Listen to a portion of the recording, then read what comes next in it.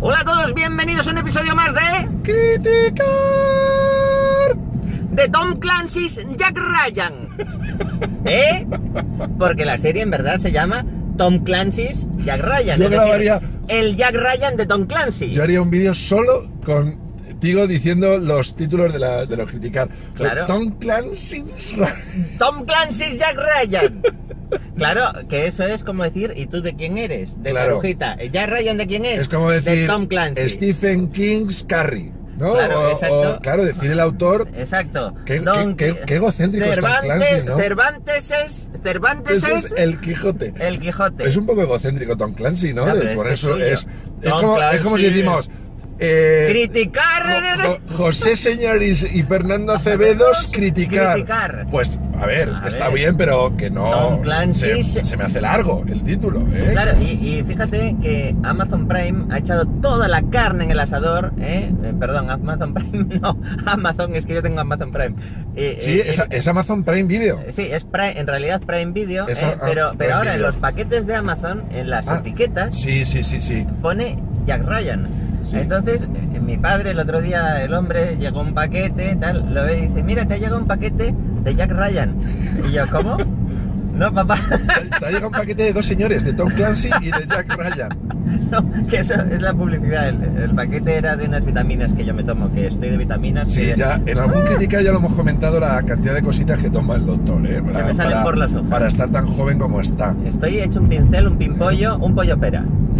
Ahí bueno, ahora explicaremos, porque a lo mejor hay gente que dice, no sé ni quién es Tom Clancy, ni quién es Jack Ryan, de qué, ver, está- de qué, eh, qué estáis hablando. yo bueno, pues que ahora, lo, explicaremos la- un la- la primera serie Sí. de Amazon Prime eh, de la que hablamos. No. no. ¿No es la primera de Amazon Prime de la que hablamos? No, no, no, no. ¿Cuál no. era? ¿Cuál era? ¿Cuál es entonces? Eh, no, ¿eh? Espérate, sí, hemos hablado de alguna, ¿no? ¿De cuál? ¿De cuál si, si la tienes tan claro? no. Esto lo voy a cortar. ¿Qué, qué mierda? No, ¿sabes qué pasa? Me, me he confundido con, con, Cobra Kai. Con Cobra Kai. es de YouTube Red. Es de YouTube Red, efectivamente, es que son tantas plataformas. Son, Son muchas son plataformas muchas digitales a plataformas. nuestra disposición. Bueno, pues Amazon Prime, que es de Jeff Bezos, un tío que tiene el dinero por castigo, decide que tiene que competir con Netflix, que tiene una plataforma que se llama Prime Video, y él se nota un poquito con celos con respecto a HBO, respecto a Netflix, y ha decidido echar la carne el asador, hacer series que la verdad que están muy bien de presupuesto y en este caso están basadas en el personaje mítico de Tom Clancy, del cual tú sabes bastante más que yo. No, bueno, es que sí, es que yo soy muy fan de, de Jack Ryan. Pues en, e- en este caso, pues eso, trata de las aventuras del agente de la CIA, Jack Ryan, pero en realidad eh, No han es- tenido no, que hacer no, una actualización. No es un agente, bueno, es, es- un analista. sí, es un analista. Eso es, es que es, es un elemento muy importante en, la, Exacto. en el personaje, que no es, no es un agente, no es un James Bond, ¿vale? No es un agente... Él eh, inicialmente, eh, pues es un analista, y decimos inicialmente porque luego ya no, eh, es un analista de información y además Jack Ryan tiene una cosa que es doctor. doctor. Es el doctor Jack Ryan. ¿eh? Doctor. Doctor Jack Ryan, pero el doctor Jack Ryan en este caso no te mira la pierna, ni el pie, ni la tibia, ni el peroné. ¿eh? El, doc- el doctor Jack Ryan es un doctor en economía. Es doctor en economía. Sí, sí, y lo dejan muy claro en la serie, en la serie se explica muy bien. La serie, bueno, yo ya, yo ya, yo ya hago mi análisis previo, está muy bien. Nos ha gustado, muy, nos ha muy gustado los recomendable. dos. Nos ha hay, gustado hay los que dos. verla, hay que Sobre verla. todo si te gustan todas las cosas, las series que tienen que ver con espías, con la CIA, con el contraespionaje. Claro, las novelas originales de Tom Clancy tenían conflictos que ya no existen. Por ejemplo, Claro. eh, al principio las novelas de hace 30 años pues estaban basadas en todo lo que tenía que ver con la Guerra Fría, Claro, eh, con le- el espionaje soviético. Le pasa un poco lo que hay en Fleming con James Bond. Exacto. James Bond, las, las novelas, pues cara, las películas que hacen ahora, pues tienen otro tipo de enemigos, otro tipo de peligros que, tiene que defender. Entonces es un Jack Ryan actualizado Sí. y ahora mismo eh, digamos que la amenaza que preocupa más a nivel global es posiblemente todo lo que tiene que ver con el islamismo radical Terrorismo- y, terrorismo islámico. Exacto, eh, con el Estado Islámico, el Daesh, etcétera, etcétera. Sí, Con todas aquí esas cosas. usan, usan unos, unos personajes ficticios y, unas, y unos, unas organizaciones ficticias, entonces no es, no es Daesh, no es Bin Laden, no es, es, es una, Es- una es- especie de Bin Laden, Es la lucha una contra especie de un, Daesh. un nuevo Bin Laden Sí. que aparece en Siria y eh, al final intentan también explicar cómo puede ser que un tipo que es eh, un inmigrante sirio que en realidad pasa toda su vida en Francia se radicaliza y se transforma en una, en una amenaza para Occidente creando una organización terrorista que pretende pues eso eh, combatir y destruir a la sociedad Sí, occidental muy, muy actual todo. o sea, y ahí está el mismísimo está Jack. Ryan Jack Ryan, que como he dicho, es analista, entonces es un señor que ha sido militar, entonces tiene formación tal, pero es un señor más de despacho, que por circunstancias se ve envuelto en una misión en la que tiene que hacer cosas físicas, entonces de repente le, le trasladan a una base, y entonces se encuentra, o sea, no Bueno, es... la, la cosa es que Jack Ryan está tan, está tan tranquilo analizando sus cositas de Siria y de repente ve que hay unas cuentas bancarias de un tal Suleiman que reciben muchos Suleiman. billets. Se recibe, empieza Money, a money. concentrarse el dinero y él cree que eso puede ser una amenaza y que puede ser el origen pues de un nuevo Sospechas. grupo terrorista que des- desconocido hasta ahora. Entonces, claro, como él eh, tiene una forma peculiar de hacer las cosas y tiene un perfil particular, cuando llega el nuevo jefe, su nuevo jefe, eh, pues que, que además tiene un encontronazo de tráfico al principio, Sí. eh, cuando llega su nuevo jefe, pues claro, eh, tiene que convencerle de que esa amenaza es real. Al no le- final no- se confirma no- la amenaza. No, le toman muy en serio como, bueno, sí, ya tú estás ahí mirando numeritos, mirando ahí vas a sacar tú más que nosotros investigando con los espías. Pues sí, Y, y- y entonces resulta que hay un tipo, eso, pues, eh, un tipo que en realidad es un niño de la guerra de Siria, que eh, vive en Francia, en Francia no le dan oportunidades, al final acaba en prisión eh, por tapar a su hermano y eh, a partir de ahí en la prisión se radicaliza y crea un grupo terrorista en Siria, eh, bueno, eh, con unas conexiones entre Siria y Yemen. eso lo que, lo que he dicho del niño es lo primero que se ve en la serie. Exacto. Se ve él de niño con su hermano, están jugando tan tranquilos, además mola porque llevan pantalones vaqueros, o sea, se ve todo muy occidentalizado y de repente hay un ataque que ellos Exacto. no entienden, hay un bombardeo donde ellos pierden a su familia y Ellos son víctimas ese es el, colaterales. el origen, es como, es como decir, es como en Batman, de, hemos creado un monstruo, es un monstruo pero lo hemos creado nosotros, es una cosa, está, Exacto. está muy bien, tiene mucho, Ent- Entonces, mucho eh, pues todo se trata de eso, de... eh, la verdad que la serie tiene localizaciones en distintos países. eh, hay, hay producción ahí, ¿eh? ahí, ahí se han, se han gastado dinero y, y es una, una historia de espías de alto nivel y en esa historia hay un personaje secundario que te meten, que eso es lo único que no me cuadra a mí de la serie, que es un tipo que está en Nevada, al lado de Las Vegas, en una base aérea y se Ah, ve sí. cómo es la nueva guerra. Es decir, la nueva guerra ya no necesita mandar soldados para causar daños. Es cierto, cierto. O sea, un tipo desde Nevada puede controlar un dron en Siria. Sí, bueno, es una segunda historia.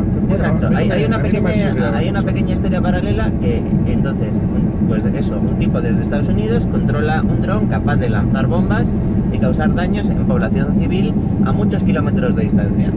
Es, eh, a mí no me chirrió porque para los que hayáis visto esa historia paralela, me recordó muchísimo una película que me gustó mucho, que es Espías desde el cielo. Espías desde el cielo es eso. Esa no la he Es- visto yo. Pues es la historia de, de cómo unos tíos, lo que acabas de contar, desde un sitio súper seguro en Estados Unidos, pueden liar la parda en el otro lado del mundo manejando un avioncito de juguete. Entonces, de los problemas, los conflictos morales de, esos, de esas personas que dices, claro, estoy jugando un videojuego, pero estoy matando gente, de verdad. Exacto, es- pues en este caso este, este tipo Pues es lo mismo. cree, pues eso, causa una baja que no tenía que haber causado, se siente culpable, viaja hasta Siria y quiere compensarlo dándole un dineral que gana jugando en el casino. Eh, entonces, pues yo esperaba que esa trama secundaria fuera a confluir con la historia principal, que para mí eso es uno de los axiomas del guion. O sea, que al final todo lo que te enseñan haga avanzar la historia de alguna manera. Bueno, pero, pero- esta historia que me cuentan de forma secundaria, que queda separada, que yo te digo que yo, yo estaba toda la serie, que por cierto solo tiene ocho capítulos, o sea que es una serie relativamente corta. Sí, ocho Eh, capítulos de una hora. Exacto, ocho capítulos de una hora, pues yo esperaba que eso al final me fuera a aportar algo Bueno, sí para que, el contenido sí que de la está relacionado general. porque, porque este señor consigue una información que tiene que ver con la historia principal y ataca a un personaje que está relacionado con la familia del tal Sulimán. O sea que sí que está relacionado, es todo como. Bueno, tiene, tiene una pequeña relación, de una misma pero, misión. pero no sé, le fa- para mí para mí le falta algo, porque ese Ya. personaje secundario Vale, sí, se supone vale. que paga su deuda moral con esa víctima inocente, se vuelve a Estados Unidos y ya está. Y Eh, luego, sí, luego ese personaje tiene una cosa súper rara sí, tiene una en un, escena en un rarísima. casino que no os vamos a desvelar, pero que es de esto que dices, ¿y esto a qué viene? No, no entiendo nada. O sea, ¿qué significa? Sí, te, te- te Entonces, cuenta una especie de pero bueno. historia rara. Sí, una especie de, de masoquismo Sí. raro, de un trío De- con de- no sé. que- un trío que no llega a ser cosa que tío, de no unos que no conocen a así en marcha, sí, no, no. Eso, pues sí, se le ha ido ahí la flapa un poco. Es una serie de verdad muy recomendable, hay que verla, muy divertida, muy entretenida. Si te gusta, muy- a ver, sobre todo si te gusta ese género. Es una serie muy de género. Mira, ¿eh? es una serie que está a medio camino entre 24, la de Jack Bauer, Exacto. y eh, Homeland. No es, es. no es tan política como Homeland, No, no tiene tanta acción como 24, está como entre medias. Exacto. Es muy bien, o sea, para mí, muy bien. Eh, eh, entonces, Jack Ryan es John Krasinski. John Krasinski, del que ya hemos hablado en criticar. Exacto. Hemos hemos hablado hablado. de criticar, en criticar de John Krasinski, cuando hicimos el criticar de Un lugar tranquilo. Un lugar tranquilo, película también, que también recomendamos. que es bastante recomendable, pero sobre todo por cómo está rodada. Sí. Y John Krasinski es un tipo que está haciendo muchas cosas. Sí. Un tipo alto y desgarbado. Sí, desgarbado, que es, es perfecto para hacer de Jack Ryan. Porque eh, ya os hemos dicho, Jack Ryan no, no puede ser Bruce Willis, no puede ser No. em, eh, Stallone. Es, es un señor, pues un señor que trabaja en una oficina. Lo que pasa que Jack Ryan, eh, eh, donde está la trampa de Jack Ryan, es que Jack Ryan es un tipo con un entrenamiento militar muy intenso, un tipo que además es Sí. el único superviviente de un pelotón, eh, ¿son marines? No me Sí. acuerdo, sí, de un Bueno, pelotón sí, de un ma- pelotón de- del ejército. Eh, exacto, y, y que es un tipo que queda marcado, ¿eh? y, y aquí ahora hay que hacer un parón para hablar de cómo manejan el estrés postraumático en las películas. ¿Eh? Porque claro, al final tú vas a la guerra y te queda estrés postraumático y entonces no puedes dormir, pero es que Jack Ryan no es que no duerma, es que Jack Ryan, yo no sé, Jack Ryan te va a dar algo. O sea, yo ya lo he comentado a veces con ¿Qué las le, personas le- que no duermen. qué le recomendarías? ¿Melatonina? A lo mejor. No, hombre, melatonina no está mal para empezar, pero Jack Ryan igual, Algo- igual, algo igual- más potente. igual duerme dos horas y se presenta a la oficina a las 4 de la mañana. Que yo lo pienso, y si me presentara en el hormiguero a las 4 de la mañana, Bueno, no habría nadie. Tendrías que pedir que te abrieran la puerta, que los de venir el- el seguridad. de seguridad, ¿eh? y sin Porque- embargo allí en la CIA, allí... No, la CIA es, es un 24 horas. eh, la CIA exacto, está la, a la tope. CIA es una especie de 7-Eleven del ver, espionaje. el terrorismo no duerme, doctor. Eh, Claro, el terrorismo sí, está se- será eso, pero todo el rato y claro, si, el que- o- o si yo me presentara a las 4 de la mañana a pasar consulta, me parece que no iba a haber mucha gente. Eh, pues allí Jack Ryan se presenta, además Jack Ryan ¡buh! se levanta temprano, luego va a remar. Jack Ryan se cuida. Sí, se cuida, es un tío que está. Es un tío que está en forma. Aunque Jack Ryan podía, al final hace buena gala de su puntería, pero al principio no mucho. No, al pero- principio ¡ih! le da como cosa disparar. Sí, porque por eso el estrés postraumático ha, ha tenido unos problemas muy gordos en, Se en- despierta noche. combate. Entonces, Ay. pues él no está ahí Ay. preparado para hacer esas cosas. ay, Entonces, ay, que me despierto. ah. él es, él es, eh, el planteamiento inicial es más, más un Sherlock Holmes, es un señor más de, de encontrar pistas y de dar Sí. pistas al tal, pero no de acción. Pero luego se encuentra que tiene que, que tiene que, Y luego Jack Ryan tiene que es- liarse a palos y la- tiene que liarse a todo. La típica ¿eh? persona que tiene una mala suerte horrible, que es como Bruce Willis, que allá donde va la lía, ¿eh? hay que ver todas las películas de Die Hard, ¿eh? Sí. digo Die Hard para que la gente que nos ve desde otros países... La jungla de cristal Eh, en España. Exacto, en España la jungla de cristal, en todas las pelis de la jungla de cristal siempre está eh, en el sitio inadecuado. O sea, Sí. siempre está. Pues eso le pasa a Jack Ryan, pero no solo a, lo, a Jack Ryan, porque Jack Ryan crea a su alrededor una especie de vórtice de la mala suerte, porque conoce a una chica que es médico. Y justo, justo, justo esa chica con la que quiere empezar a tener una relación, justo, Sí. justo ella tiene que ver con un arma biológica que, digamos que es el arma que quiere usar. Exacto, que quiere usar el, eh, esta especie de nuevo Estado Islámico eh, contra Occidente, pues ella es justo la máxima experta en ese tipo de arma biológica Que además que hay en Estados Unidos. Es la hija de un Exacto. Y, de y una persona co- con la que él no se coi- lleva bien. La coincidencia no acaba ahí, sino que es la hija del ex jefe de Jack Ryan, que es un tipo rico que le tenía de analista, pero en este caso de analista económico. Porque ya hemos dicho que el doctor Jack Ryan es. eh, tiene un doctorado en Doctor economía. economía. Que, bueno, en España ahora hay mucho lío con los doctorados, ¿verdad que sí? Académicos. en Es España cierto, ahora mismo. en España, Y los que sois de España lo sabéis, los que no, podéis buscar en Google. Podéis eh, buscar en vídeo las- eh, los problemas que hay en España con ¿Eh? las tesis y los másters falsos. ¿Los másters o másteres? Másteres, másteres del universo. ¿Eh? Que, Oye. eh, parece que alguna universidad eh, regalaba como en tómbolas títulos máster. Toma, Aquí ¿qué quiere creándonos, creándonos enemigos. Oye, si los que ir a esa universidad a estudiar algo, ¿qué? No, no, yo no he dicho qué universidades. Ya, ya, pero has ellos, que pero sin embargo, ellos ellos, lo saben. ellos sí que saben. Ellos lo saben. quiénes son. Porque yo, eh, ya os digo, ahora el presidente del gobierno en España pues ha sido muy cuestionado por su tesis doctoral. ¿Eh? Y claro, eh, yo también soy doctor, yo tengo mi doctorado. Pero tú de, doc- tú de verdad, tú eres doctor Yo, de yo- verdad. yo soy doctor de verdad, pero y os voy a decir el título de mi tesis por si queréis ver, eh, está, está online, la podéis, podéis buscar, no está el texto completo porque está en la Universidad Autónoma de Madrid el texto completo, pero sí hay un pequeño resumen online y se llama, atentos, mucosectomía premorroidal mecánica para el tratamiento quirúrgico de la enfermedad hemorroidal avanzada. Estudio prospectivo 5 años. Así que si tenéis curiosidad por leer O sea, que una va, de, que tesis- va de almorranas la cosa. va de Almorranas ¿eh? y es una tesis que ha aportado mucho para ese mundo tan Oye, me río- complicado me río, y pero controvertido. Es un problema ¿eh? Es un problema que sufre el 5% de la población. Por Vaya. tanto, de cada 100 oyentes de criticar, 5 se sientan en un cojín. 5 están. Pues el doctor nos podría ayudar. Yo os podría ayudar Con tesis. con la mano izquierda. Oye, doctor, que estábamos hablando de, de la chica de la que se enamora Jack Ryan, Exacto. que sabemos que se va a casar con ella porque, porque en las novelas ya se ha casado y tal, que es una actriz que se llama eh, Abby Cornish, que Abby es Cornish. muy guapa, que a mí me gusta muchísimo, y de la que quiero hacer un comentario, A mí. A mí sí. Bueno, Abby Cornish, eh, sí. me gusta mucho. Eh, Bueno, Y quiero hacer un comentario que me ha transmitido una compañera nuestra del hormiguero, Laura, una guionista.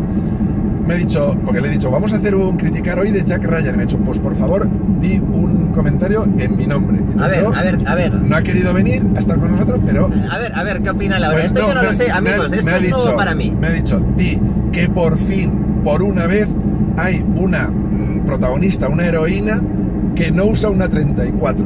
¿Vale? Porque eh, Abby Cornish eh, no, es, no es la típica chica Delgadita. modelo delgadita, es una chica, una chica normal, una chica, pero que muy guapa, que está muy bien.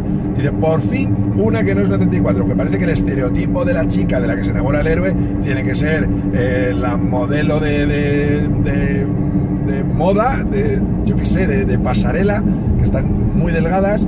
Y, no, pues este no es el caso. Y está muy bien. Y, se- y Laura se alegra mucho de que sea así. Entonces yo lo transmito tal, tal y como es. Me, pare- me parece, me parece un gran apunte ¿eh? y además yo también soy partidario más de la curva que de la recta. Por supuesto. De hecho, el otro día, mira, otro- voy a contar una cosa. En Instagram, no sé qué cuenta es, eh, puso un- como un montaje de seis fotos para vender como un, no sé, creo que era una dieta o un tratamiento para ponerte en forma. Y eran seis fotos de una chica en bikini. Y entonces, en la primera era una chica con curvitas así y tal, y en la última, pues era pues lo que se espera, un, un pibón de portada de revista tal. Pues te digo una cosa, eran seis. A mí la que me gustaba era la dos. La 2. A mí la que me gustaba era la dos. Dice, pero, pero, Sí, es que en realidad yo creo que... viendo las fotos digo, me quedo con la dos. Pero yo en realidad creo que al final... ¿En serio? eh, a la mayor parte de los hombres le gusta más una chica con curvas que una modelo de pasarela. Sí, claro. O sea, por lo menos eso es lo que yo lo que yo comento. Yo creo que lo de Pero- la pero- modelo de pasarela esquelética que sale y tal es más un Eso es que- estereotipo que... venden los diseñadores de moda más que una Sí, representación vamos, totalmente del de gusto acuerdo. masculino. Y Totalmente de hablan acuerdo. muchas veces la presión que se exige por la delgadez. No hagáis caso. No hagáis caso. No hagáis caso. No hagáis caso porque a los hombres, mm, bueno, a los hombres. eh, a- Eh, no podemos hablar podemos por todos los hombres en general. Por todos los hombres del mundo. Pero vamos, yo. Pero, pero que no tenemos e- esa obsesión ni esa preocupación por la delgadez extrema, ni mucho menos. Nada, ni nada, mucho menos. Absoluto. O sea, viva la curva. ¡Eh, viva! Viva la curva, pero no en la carretera. En la carretera molaría que fueran todas rectas. Sí, Que bueno, no. te quedas dormido al volante si es así. Hasta que llegue el coche autónomo, Que, que ¿eh? llegará, que llegará. que, que llegará en breve. Bueno, para los que vais a ver la serie, que habéis visto el criticar y decís, oye, pues me ha enganchado tal, eh, podéis hacer una cosa si queréis, porque os hemos dicho que Jack Ryan es una serie de un personaje que ya existía, de Exacto. un tal Tom Clancy, un autor de, de- de este tipo de género, que, Eh, que posiblemente perdona... el más famoso en este Sí, género. de- yo creo que es el nuevo Ian Fleming, ¿no? Es- es- Bueno, el nuevo, Bueno, nuevo que ya- sí, que lleva ya un tiempo, pero bueno, pero Ian Fleming es anterior. O sea sí, que, entonces, bueno, pues lo he buscado porque no sabía exactamente. ¿Y sabes cuántas novelas hay de Jack Ryan? ¿Novelas publicadas? Hombre, llevan 30 años haciendo novelas de, de Jack Ryan. Pues lleva 20 novelas de Jack Ryan. Toma ya. 20 novelas. Y antes de esta serie se han hecho 5 películas sobre Sí. Jack Ryan. La primera fue en el 90, que fue eh, La caza del octubre Eh, rojo. Exacto, la caza del octubre rojo ya era de Jack Ryan. No era el protagonista. Pero Era, sale. eh, pasaba como con Aníbal Lecter en el Dragón Rojo, que era Exacto. como un personaje secundario, pero ya Y salía luego se come, se come Se- el resto. se come el resto. Pues. Se no, claro, resto. se come el resto. Aníbal Lecter, ¿eh? que era caníbal. Vale, explicando los chistes del doctor.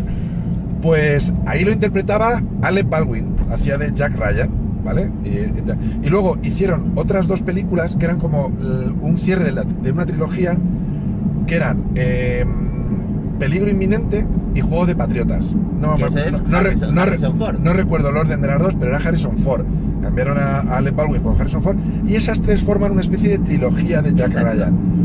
Años después intentaron un reboot con eh, el que hace de Batman, eh, el que hace de Batman ahora, eh, Ben Affleck, Exacto. con Ben Affleck en una película que se Pero llamaba... hizo una sola. Y solo eh, intentaron un reboot, no les salió, porque la película tampoco que fuera... ¿Y por qué Ben Affleck a veces, no sé por qué, por lo que sea, no da? es, un poquito gafe a lo mejor. A- a- eh, a veces eh, no entra en una da película y, Y no la... no da bien el personaje. Pues esa peli era eh, la suma de todos los miedos, The Sum of All Fear, que en España se llamó Pánico Nuclear. Pero que el título, claro, que ya sabéis que aquí traducimos la cosa como no sale del Pánico nuclear. ¡Oh, pánico! Y el último intento fue otro intento de reboot con Chris Pine, Exacto. que ya ahí pusieron Jack Ryan en el título para ver si esto ver. Jack Ryan, Operación Sombra, que contaba el origen, igual que la serie. Contaba mm, cómo se- eh, su primera misión y cómo él empieza, cambia de ser analista a ser espía. Tampoco funciona muy bien. Es una pelea de acción que está bien. Chris Pine, que además últimamente está haciendo papeles curiosos, además papeles que no están mal, por ejemplo en Wonder Woman. Wonder Woman, Y luego también en estas nuevas pelis de Star Trek, correcto. Chris Pine es el Capitán Kirk. Sí. ¿eh? Y Y, Zachary Zachary Quinto, Quinto. Es el señor Spock. Zachary Quinto, que me gusta mucho ese nombre porque, porque se escribe quinto, como quinto, como el número 5 en español. Entonces, Zachary Quinto. El- Eh, claro, claro, ¿y qué, fue, qué sería del cuarto y del Pues, tercero? a lo mejor su- es que a lo mejor su padre se llamaba Zachary Cuarto. a lo mejor. Y y su es abuelo Zachary III, su bisabuelo Zachary II. Exacto. ¿Eh? Lo- puede ser, o sea, todo es posible en esta vida. Sí. Pero pues, de hecho los, los estadounidenses eso lo hacen mucho. ¿Eh? Ah, claro, Hen- sí. Henry Jr. segundo. Sí. o no sé cuántos, el, pero, pero ¿por qué te José ponen- Señarí Romay III. Yo soy José, José Señarí Romay, el primero de mi nombre. Claro, yo también soy. Para los de porque- Juego de Tronos, Sí, yo también me llamo Fernando Acevedo, el, el primero de mi nombre, porque mi padre no se llamaba Fernando, entonces pues claro que va a pasar. Pues eso, que si, que si vais a ver la serie y os apetece decir, bueno, la voy a ver con un poquito de background, voy a verme las cinco películas de Jack Ryan, yo en alguna os vais a aburrir. ¿eh? O sea, tampoco hay que ir a mira, atención. La caza del octubre rojo es un película. La caza del octubre rojo, sí. Ahí no hay duda, esa tenéis que Pánico verla. nuclear. No. Tostor, Tostonacker. Y la de Chris Pine no la he visto, esa no puedo opinar. Yo sí, pues una peli de acción más, que me dicen que no es Jack Ryan y que es otro, pues me daría igual. Las ¿sabes? de Harrison Ford no están mal. Las Sí, dos las, de Harrison Ford entretenidas. están, están Sobre bien, todo pues Juego eso de Patriotas. las podéis ver. las podéis ver. Es que eso, eso de que cambien de, per- de personaje, como hacen con Batman, con Spider-Man, que Hombre, hagan la secuela con otro actor. Sí, pero, perdona, la- el otro rojo la hicieron en el 90 y la siguiente de Harrison Ford fue en el 92. A ver, Sí, que Alec hombre. Baldwin estaba todavía ahí. Sí, ¿Qué pasa? pero ¿Que no quiso Baldwin- Baldwin? ¿No le ofrecieron suficiente dinero o qué? No, no daba el tipo. Pues eso, la podéis ver, que a mí eh, estas cosas, ¿sabes qué pasa? Que esta- estas, estas cosas de que cambien los actores, ¿sabes qué me pasan? Que, que me rayan. ¡Ah! Lo traía preparado. ¡Qué Lo traía preparado. maravilla! Traía preparado, digo, tengo que hacer un chiste con Ryan. A mí con me ya- a mí me- Con el verbo rayar. A mí ¿eh? no solo me rayan, sino que a mí me rayan. Ha entrado, ha entrado, ha entrado un poco forzado. ¡Ay! Ahí, no, no hemos dejado hueco, pero si hubiéramos dejado hueco, metería unas risas enlatadas o unos aplausos o algo, ¿eh? O un redoble. Esto, esto mira, ¿sabes qué me pasa? Que me rayan. Eso, eso. Y ahora, mete tú el tuyo, mete tú el tuyo. Y a mí, ¿sabes lo que me pasa a mí? A ¿qué te pasa? Que me rayan. ¡Qué maravilla! ¿Cómo mola, cómo mola la postproducción que te, mejora, te mejora todo? Claro, pero la postproducción te mejora todo. ahora, ahora entiendo a los actores que hacen películas con monstruos digitales que tienen que hablarle a una bola de color verde o lo que sea No, y, y se los- tienen que meter en el papel. Fíjate, a mí me ha costado meterme en el papel solo para insertar un efecto de sonido falso. Y los, Imagínate. y los actores que hacen sitcoms que luego llevan las risas enlatadas, también tú imagínate soltar un chiste y quedarte ahí unos segundos esperando a que, y que, que no se oiga nada. ¿eh? Esto tiene que ser horroroso. Yo no quiero, yo no quiero trabajar en sitcom. Mira, hay una paginita que he visto hace poco eh, que trata de recopilar errores en películas, ¿no? Ajá. En películas y series. Entonces Sí. reco- recopilan errores en películas y series. Y tenía un comentario muy jocoso sobre The Big Bang Theory. Ah. Hablando de, de películas y de efectos Sí, de sonido. sí. Entonces ponía eh, durante, durante eh, la emisión de este episodio de Big Bang Theory se oyen 194 veces risas enlatadas. El error es que no había ningún chiste en, pantalla. Pues yo no sé, yo no sé de qué página hablas tú, pero antes había una que no sé si sigue existiendo, que yo era muy fan, que se llamaba así Movie Mistakes. Sí, creo que es esa. Pues se llamaba Movie Mistakes, estaba muy chula. Si la siguen actualizando, entrad, porque yo hace mucho que no entro, porque era eso, y además te ponían fotos de fallos de récord en películas o er- errores de errores todo de tipo. concordancia. Sí. o- Sí, sí. todo- Sabéis que yo soy, yo soy muy fan de los errores de concordancia en fechas, ¿eh? que a- alguna Ahí vez, está, los freaky facts de Acebedismo. alguna vez en las frikimérides he puesto, eh, sale que es esta fecha, pero luego, según la trama, no puede ser esa fecha, porque es anterior. A mí esas cosas me gustan mucho, entonces yo ahí las pongo y soy muy tiquismiquis. ¡Re Ryan! me, me- me rayan esas cosas.